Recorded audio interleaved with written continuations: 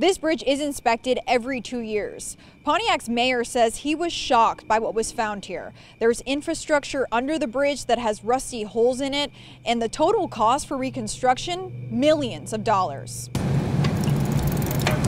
When you bike everywhere, it's hard to avoid faulty infrastructure. Michael Buford says the MLK Junior Boulevard Bridge is one of Pontiac's biggest eyesores. I just rode past it and just looked at it and it just looked disgusting. The old old bridge that needs to be torn down. The bridge will be coming down eventually. A July inspection done on a section where the bridge hovers over railroad tracks showed major deterioration of metal joists that keep the bridge standing. Pictures from the report show rusty holes and cracked concrete on the road and railings. They obviously saw the serious deterioration of the bridge and decided and recommended that it be shut down immediately. And of course, that was a, an obvious decision to make. The bridge is shut down to all car, bicyclists, and pedestrian traffic.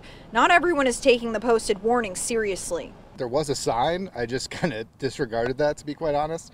Councilwoman Melanie Rutherford says the closure impacts her district. She understands it's frustrating having to find another route, but the alternative is much worse if that bridge collapses with somebody on there, then lives are going to be lost, property is going to be damaged. So we as a city are doing the best that we can to make sure that we come up with a solution to get this bridge repaired. We're currently seeking both public and private funding. Pontiac Mayor Tim Greimel says they are seeking funding from the state. Between demolition and the reconstruction, he says it will cost $9 million.